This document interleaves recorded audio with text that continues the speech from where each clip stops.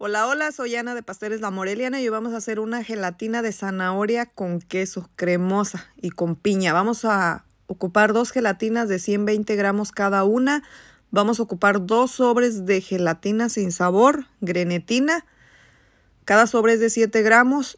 Vamos a revolverlos así como ven ustedes aquí en seco. Que queden bien revueltos. Y Enseguida vamos a ocupar un litro de agua bien caliente. En ese litro de agua vamos a disolver la gelatina. La gelatina de piña es para prepararla en agua, pero nosotros le vamos a licuar un queso crema. Vamos a disolver muy bien, ahí se van a tardar unos 3 o 5 minutos hasta que ustedes ya vean que ya se disolvió bien la gelatina. Y enseguida vamos a ocupar lo que son dos latas de piña y el jugo lo vamos a reservar. Se lo vamos a agregar a la gelatina. O si es una lata grandecita de piña, pues mucho mejor yo porque nada más tenía latas más pequeñas. Por eso estoy utilizando lo de dos. El jugo lo vamos a ir midiendo aquí junto con agua.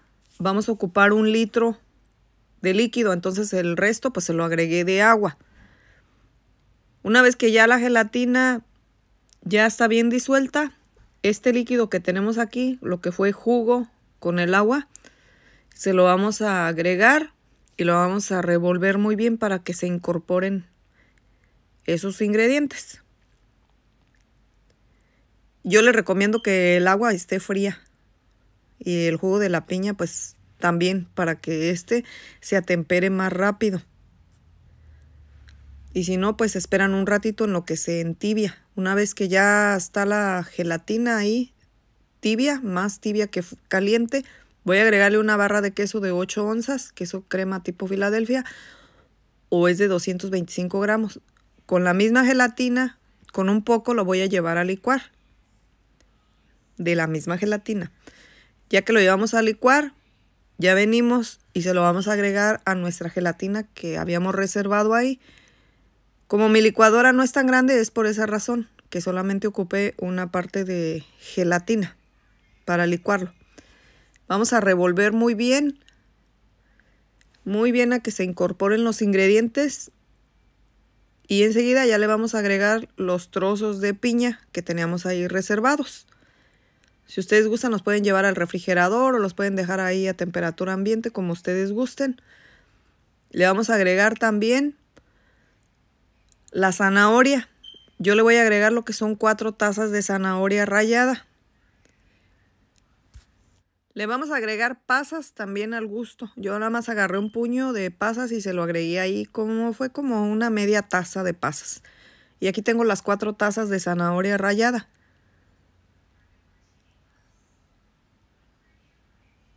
Que la zanahoria yo la medí en una taza medidora de que es de un litro.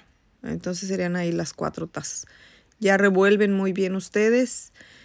Si ustedes gustan le pueden agregar nuez picada, almendras, cualquier otra semilla que ustedes gusten. A mí me gusta con nuez picada también, pero en el momento no tenía, por eso es que no le agregué. Pero igual así con esta combinación queda bien sabrosa la gelatina cremosa. Vamos a revolver muy bien. Y sí les voy a recomendar que engrasen su molde. Porque como queda como espumosita la gelatina, suele pegarse a la hora de que nosotros lo desmoldamos. Yo no lo engrasé.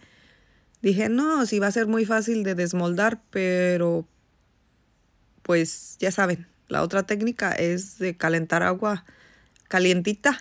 Pues sí, ¿verdad? Calentarla. Sumerge uno el molde y ya uno desmolda.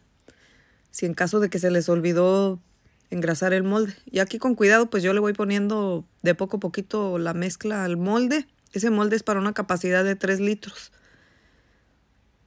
Que fue lo que me salió de gelatina con todos los ingredientes que le agregamos pues a la gelatina. Lo otro también que hago yo es que a mí me gusta llevarlo por toda la noche al refrigerador, así queda bien cuajadita la gelatina. Ya nada más ustedes ahí tienen que acomodar este, la gelatina. Oigan, los ingredientes en la gelatina que queden todos ahí acomodaditos porque al tiempo de que yo le fui agregando, como que sentía como que quedaban en un solo lado. Ahí nomás ustedes al ojo, denle una movidita. Y les digo, por la espuma esa que tiene arriba, luego a veces también a mí se me hace un poquito complicado desmoldarla, pero aquí utilicé un palillo de dientes o un picadientes como ustedes le llamen. Eso es para no rayar el molde y para irla despegando. Fue de ahí afuera y del centro también ocupé el palillo. Yo la iba despegando con mis manos, pero no, no se podía, quedó, quedó como muy pegadita. Entonces puse una olla de agua caliente a la estufa. Bueno, puse una olla a calentar, ¿verdad? Con agua. Ahora sí, ya que está caliente, pues ahora sí voy a sumergir el molde. Esta es la otra técnica que a mí me gusta hacer, como cuando yo veo que no quiere salir la gelatina, que eso ya se los he compartido en otros videos. Y para mí pues es más fácil también, de una o la otra manera. Unos segundos la sumergimos ahí la gelatina y luego pues la sacamos y vamos viendo que si no se mueve del molde, pues es que hay que sumergirla otra vez. A diferencia de que cuando nosotros engrasamos el molde, pues la gelatina sale más fácil. Pero yo cuando me queda una gelatina así como media espumosa, a mí sí me cuesta un poquito más de trabajo desmoldarla y trato de recurrir al agua caliente. El plato lo mojé un poquito para que cuando yo desmoldo la gelatina, este se me ayude para que la gelatina se centre, pues. Y así es como queda la gelatina cremosa de piña y con sus pasas. La verdad sí se los recomiendo que lo hagan. No tienen que hacer toda la cantidad de dos gelatinas, a lo mejor pues pueden hacer media receta nada más y pues la hacen y ya luego me cuentan qué les pareció, si les gustó o no les gustó, pero para mi gusto quedó bien sabrosa. Entonces ahorita pues ya la vamos a partir para que vean ustedes cómo se ve de adentro. Pero si no quieren dejar su gelatina por toda la noche en el refrigerador, lo que pueden hacer es que unas cuatro horas en refrigeración y está lista para disfrutarla también. No tienen que esperar tanto tiempo. Así es que, como vieron en esta ocasión, con esta gelatina sí usamos grenetina. Y miren nomás, porque luego en las otras gelatinas no utilizamos, pero en esta sí.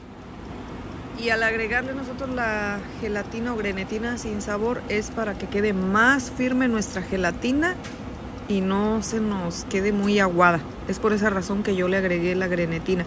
Y ya saben que ya tenemos esos deliciosos bolillos caseros disponibles también para que pasen y vean la receta y se pongan y los hagan. Bye.